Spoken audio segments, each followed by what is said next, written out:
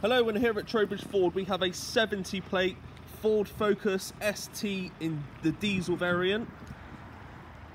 It's in the orange Fury colour and it comes really well equipped with rear camera, satellite navigation, parking sensors front and rear.